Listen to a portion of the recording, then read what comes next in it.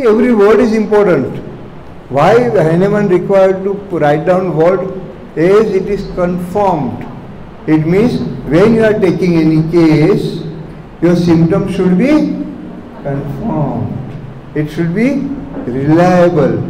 It should be authentic. You should be trusting. You should be able to work on that symptom subsequently. સમજણ પડી ગઈ ને case તો લેવાનો